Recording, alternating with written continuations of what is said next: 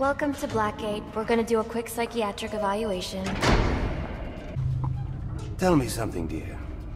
Have you ever had a really bad day?